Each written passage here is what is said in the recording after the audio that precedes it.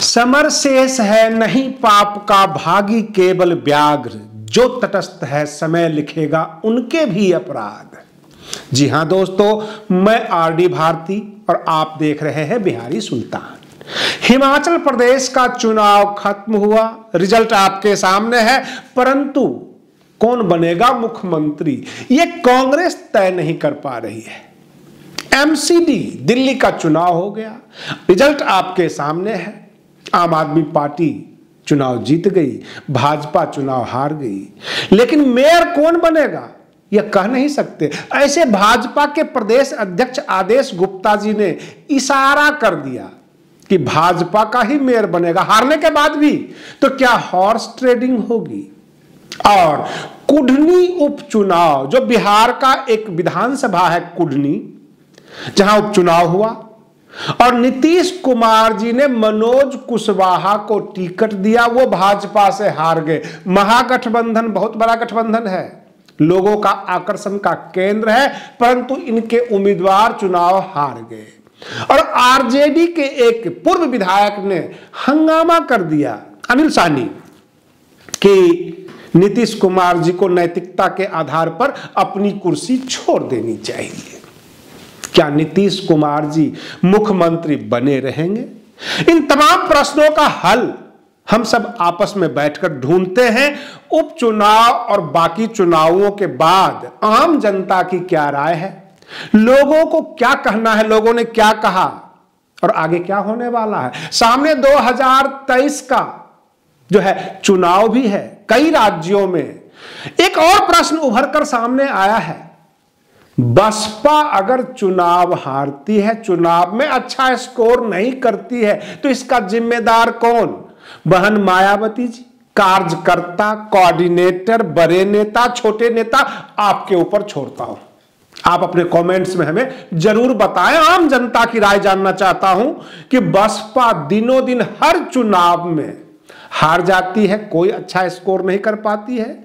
ऐसे ट्विटर पे कुछ लोगों ने प्रश्न किया, सामने मध्य प्रदेश का चुनाव है 2023 में तो कितने सीट बसपा निकालेगी?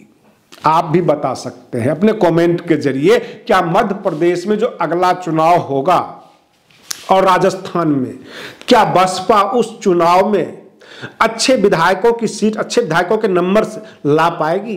पिछली बार चुनाव में राजस्थान में छह विधायक भाग के कांग्रेस में चले गए थे, बसपा के ही।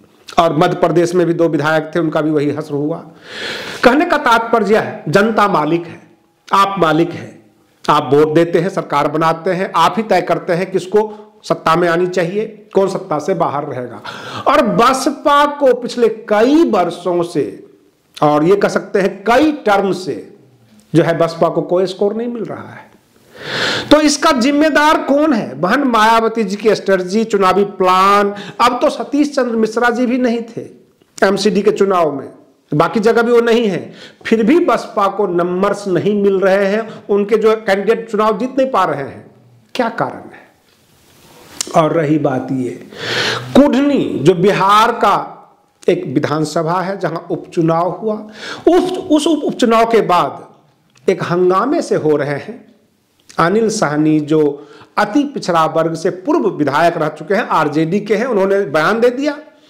नीतीश कुमार जी को गद्दी छोड़ देनी चाहिए, यानी सीट छोड़ देनी चाहिए, और तेजस्वी यादव जी को मुख्यमंत्री बना देना चाहिए बिहार का। भाजपा भी आक्रामक है। भाजपा के जो नेता प्रतिपक्ष हैं, विजय कुमार सिन्हा वह यह कह रहे हैं कि कुढ़नी में जो उपचुनाव हुआ, अथवा गोपालगंज हम चुनाव जीते हैं इन चुनावों में जो रिज़ल्ट आया है, वह रिज़ल्ट ही 2024 और 2025 में होगा। आपको याद दिला देते हैं, गोपालगंज में यह आरोप लगा था कि ओवैसी जी और बसपा ने मिलकर तेजस्वी यादव को हरा दिया, उनके कैंडिडेट को।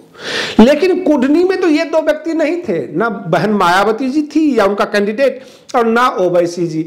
वहाँ नीतीश कुमार जी का कैंडिडेट मनोज कुशवाहा क्यों चुनाव हार गए? और वह आरजेडी का सीट था और नीतीश कुमार जी ने मांगा तेजस्वी यादव जी से। और ये लिहाज बस भावनात्मक रूप से कि हम इनके साथ जुड़े हुए इनकी बात कैसे काटे इन्होंने उनको कह दिया, ठीक है, आप अपना कैंडिडेट खड़ा कर लीजिए। उन्होंने मनोज कुशवाहा को कैंडिडेट बनाया और चुनाव हार गए। तो क्या नीतीश कुमार जी का बिहार में ग्लैमर कम हो गया है? क्या वह अति पिछड़ा एस सी माइनॉरिटीज को पसंद नहीं करते यह मूल प्रश्न उभर कर आया है। आरोप तो यही लग रहे हैं। अति पिछड़ा का सीट था।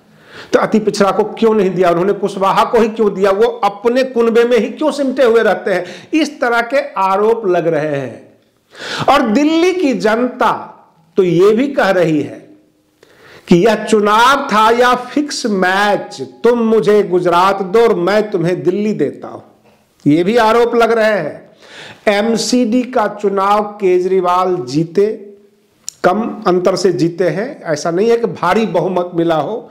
लेकिन दिल्ली की जनता ने ये प्रश्न कर दिया कि एमसीडी जो है, भाजपा ने इनको गिफ्ट के तौर पे दिया है ताकि गुजरात ये हार जाए। ऐसे डिप्टी सीएम यानी उप मुख्यमंत्री मनीष सिसोदिया जी का ट्वीट आया कि गुजरात की जनता को हार्दिक बधाई क्योंकि आपने हमें राष्ट्रीय पार्टी बना दिया। अब ये चार स्टेट में छा गए हैं, दिल्ली, पंजाब, गोवा और गुजरात। इतने मत प्रतिशत इनको प्राप्त हुआ आम आदमी पार्टी को कि ये राष्ट्रीय पार्टी अब बन गए हैं।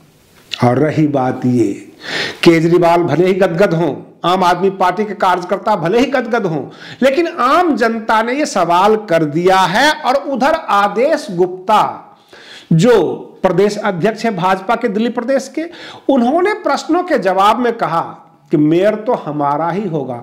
मैं यह प्रश्न का हल नहीं ढूंढ पा रहा हूँ कि हारा हुआ पार्टी मेयर कैसे बनाएगी। वो कहते हैं कि जितने भी पार्षद जीते हैं, वो अपनी अंतरात्मा की आवाज़ देखेंगे। और हमारे खरे की कैंडिडेट यानी जो मेयर का हमारा कैंडिडेट होगा, उसको वो वोट करेंगे तो मेयर तो हमारा ही होगा। यानी अंतरात्मा की आवाज़ से। लोग कह रहे हैं कि एमसीडी के मेयर पद का जब चुनाव होगा तो उस वक्त हाई लेवल की हॉर्स ट्रेडिंग होगी, बहुत बड़ा भ्रष्टाचार होगा। क्या आप इन बातों से सहमत हैं? कुछ लोग तो ये भी कह रहे हैं कि केजरीवाल हो या मोदी जी दोनों तो एक ही थाली के चट्टे बट्टे हैं। दोनों जो है, आरएसएस के तरफ़ से गाइडेड है। कुछ लोगों का यह आरोप है। अब आप कह सकते हैं, सत्य क्या है? लेकिन सबसे बड़ा प्रश्न जो उभर कर आ रहा है कि हिमाचल में कांग्रेस की जीत हुई तो मुख्यमंत्री अभी तक फैसला क्यों नहीं हो पा रहा है? कि मुख्यमंत्री कौन बनेगा? और आपको एक बात बता दें, उधर केजरीवाल साहब ने कह दिया कि पाँच साल में एमसीडी में पाँच मेयर दूँगा, एक साल में देखूँगा कि किस तरह का डेवलपमेंट है अच्छा डेवलपमेंट होगा तो रखेंगे, अन्यथा मेयर बदल दिया करेंगे। क्या कांग्रेस भी हिमाचल में कुछ ऐसा ही करने वाली है? और रही बात ये, प्रियंका गांधी बाड्रा के पाले में चला जाता है, राहुल गांधी जी के दरबार में पहुँच जाता है कि अब आप ही बता दो कि मुख्यमंत्री कौन बनेगा? आम जनता ने चुना, आजकल एक फ़ैशन सा हो गया है, भाजपा तो पहले से शुरू कर रखी है कि मुख्यमंत्री का जो चेहरा सामने नहीं करेंगे, मोदी जी के नाम पे चुनाव लड़ेंगे, ये भाजपा के द्वारा फैलाया हुआ फ़ैशन है। कांग्रेस भी इसका शिकार हो चुकी है। आम जनता से किसी प्रकार का रेफरेंडम ना करके दरबार चुनेगी कि मुख्यमंत्री कौन बनेगा। और अभी तक फैसला दरबार से नहीं आया है।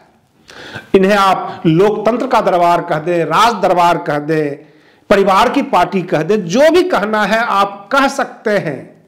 लेकिन एक प्रश्न और उभर कर आया है। बहुजन समाज के नेता और बड़े बड़े जो राजनीति में इंटरेस्ट रखते हैं, बसपा के चुनाव हारने से तक खुश क्यों होते हैं?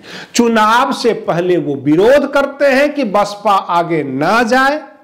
और जब बसपा चुनाव हार जाती है तो नसीहत देने के लिए आ जाते हैं।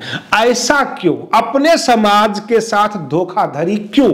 यह बहुत बड़ा प्रश्न है बहुजन समाज के लिए, हमारे दर्शकों के लिए भी। आप इस प्रश्न का भी हल कीजिए। बताइए अपने कमेंट्स के द्वारा कि बसपा कब आएगी सत्ता में और किस प्रकार आ सकती है। मैं अपने तमाम दर्शकों से यह कहना चाहता हूँ कि हर रोज और हर मुद्दे पर, आपके मुद्दे पर जिससे आपका लगाव है, उन मुद्दों को लेकर हम रोज आएँगे, रोज आपके सामने न्यूज़ होगी और आपकी टॉपिक होगी। आप बने रहिए बिहारी सुल्तान चैनल पर। हम फिर मिलते हैं अगले वीडियो में। तब तक के लिए धन्यवाद।